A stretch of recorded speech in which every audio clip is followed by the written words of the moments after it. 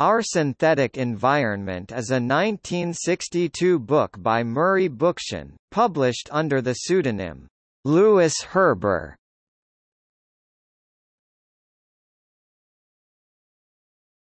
Topic. Summary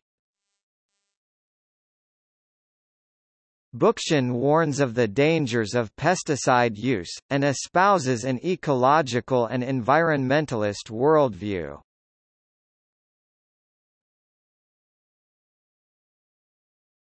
Topic: Influence. Our Synthetic Environment was one of the first books of the modern period in which an author espoused an ecological and environmentalist worldview.